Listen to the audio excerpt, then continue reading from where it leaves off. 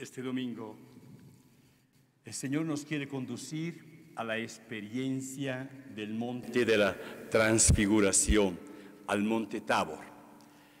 Jesús está realizando su último viaje a Jerusalén, sabiendo que allí encontrará el juicio, la condena, encontrará la muerte en la cruz, aunque el final de este camino sabemos que es la alegría y la gloria de la resurrección. Jesús está consciente de la fragilidad de la fe de sus discípulos frente al Viernes Santo, al Viernes de la muerte, a la cruz y a la tumba vacía. Podrían tambalear, poner en duda los tres años vividos con Él y entonces dispersarse. Por eso Él quiere manifestarles el final del camino. La muerte no es el último acto la vida es más fuerte que la muerte. Interrumpiendo el camino hacia Jerusalén y subiendo al monte Tabor, Jesús regala a los discípulos una experiencia única. De manera anticipada les permite vivir la experiencia del encuentro con Él, pero como resucitado. Hasta ahora los discípulos habían conocido a Jesús en su vivencia humana, un hombre no diferente de los demás. Conocían su origen, sus hábitos, sus gestos. Ahora conocen a otro Jesús, el verdadero Jesús. Es fruto de una revelación improvisa, es un don que Él les hace a sus discípulos. En la transfiguración los tres apóstoles, Pedro, Santiago y Juan, viven un momento sumisos en la gloria, en la plenitud. Después de muchas tribulaciones y dudas, fue como sentirse en paz, tocando con mano lo que venían esperando hace mucho tiempo. Por eso quieren quedarse ahí. Es bueno para nosotros estar aquí. Hagamos tres tiendas Así se expresa el apóstol Pedro. Es una experiencia profunda, hermosa de encuentro con Cristo, una experiencia que todo cristiano, tarde o temprano, debe tener en su vida.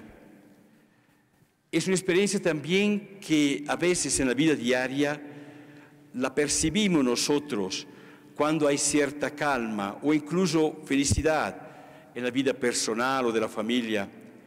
Uno a veces dice, estoy feliz con mi trabajo, estoy feliz con mis hijos. La vida parece llena de promesas, garantías para el futuro. Nos sentimos como si, si finalmente estuviéramos en el monte Tabor. Es allí donde uno quiere sentarse, quiere que nada cambie. La tentación es fuerte, hasta irresistible ya no quisiéramos hablar, escuchar de sufrimientos, de dificultades, de problemas. A veces también tapamos ojos y oídos a lo que nos rodea. Ni siquiera ponemos atención a las noticias que nos hablan de violencia, corrupción, maltrato a niños y mujeres. A veces no queremos mirar las familias nuestros tiempos, que pierden sus casas por las inclemencias del tiempo o la incuria de las instituciones públicas. Qué fácil es ceder al deseo humano, qué bueno es estar aquí. Es la misma situación que viven los apóstoles en el monte Tabor. Es ahí que la transfiguración se desvanece. Jesús se levanta, sacude a los apóstoles y les dice, levántense. Y así bajan del monte, donde encuentran la multitud, encuentran los otros apóstoles, encuentran la fatiga, la duda, el polvo del camino, encuentran las dificultades diarias. Y así los tres apóstoles, juntos a los demás, retoman el camino hacia Jerusalén, el camino de la cruz, para llegar a la vida de la resurrección. Hay que subir otro monte, el monte del Calvario. levántense. Así Jesús nos lanza de nuevo a la vida real, entre penas, contradicciones y dolores. En la vida real uno se ve obligado a luchar por su familia o hasta se ve traicionado en sus afectos, obligado a construir con esfuerzo su futuro, a enfrentar la impotencia frente a una enfermedad terminal propia o de un familiar impotencia e incertidumbre pintan un panorama a veces oscuro. Esto es bajar del monte Tabor para subir al monte Calvario. ¿Cuál es nuestra actitud frente a estas situaciones? Huir, gritar, desesperarse, renegar en contra de Dios y todo el mundo. Estas actitudes son propias de quienes vacilan en la fe o no tienen fe o no cultivan una verdadera experiencia de encuentro con Cristo. El discípulo de Jesús debe distinguirse a partir de la respuesta que nos da el imperativo de Jesús. Levántate, camina, no tengas miedo a enfrentar la vida. Para Abraham, esta voz del Señor se manifestó en las palabras que escuchamos en la primera lectura. Deja tu país, tu patria, deja la casa de tu padre. Abraham estaba muy bien en su tierra, entre los suyos, estaba felizmente casado con Sara. Solo deseaba tener hijos, deseaba tener rebaños y llegar a la vejez rodeado de hijos de los hijos. Pero la misteriosa voz del Señor estaba cerca de él. Levántate y vete. Es una orden dolorosa, pero no caprichosa por parte de Dios, porque lo que promete es mucho más que lo que pide. En ti serán bendecidas todas las familias de la tierra. Y Abraham se fue como el Señor le había ordenado. En este momento diría que Abraham es el emblema de la fe, el modelo del hombre creyente. Dios lo llamó, lo invitó y él respondió que sí, confiando en él, a pesar de que no sabía exactamente lo que, lo que le esperaba y a dónde tenía que ir. Nosotros pronunciamos también el sí el aquí estoy de fe en el bautismo. Lo hicieron nuestros padres por nosotros. Lo asumimos, lo renovamos en nuestro camino de discípulos.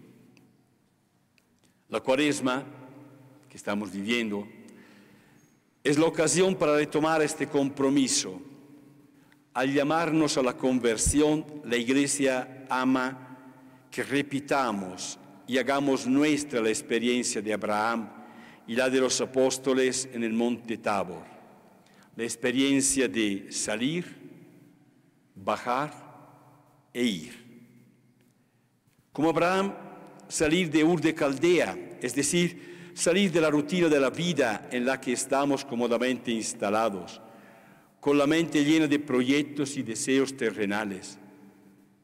Ir a la tierra que el Señor nos muestra, es decir, hacia el futuro con confianza, abriéndonos a las promesas de Dios, a las mismas que Él nos hace y a las obras que nos pide. El país que Dios señala para Abraham era la tierra prometida, Palestina. Para nosotros es el reino de Dios, no solo el reino del Señor después de la muerte, sino el que ya está entre nosotros en la tierra. Ese reino de Dios que no es otra cosa que la voluntad de Dios sobre mí, que espera que sea cumplida por mí. Venga tu reino, hágase tu voluntad. Rezamos cada día en el Padre nuestro.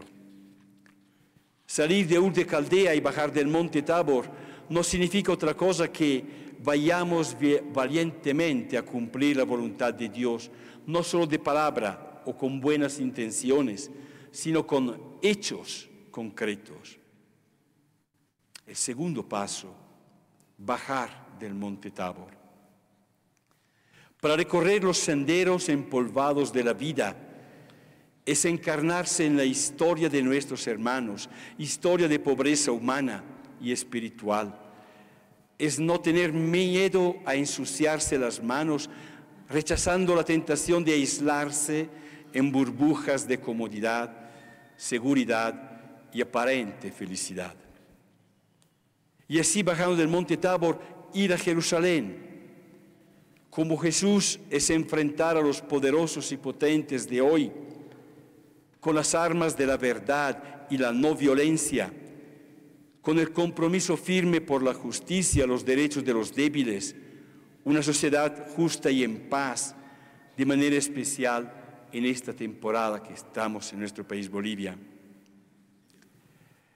Permítame una reflexión sobre últimos acontecimientos.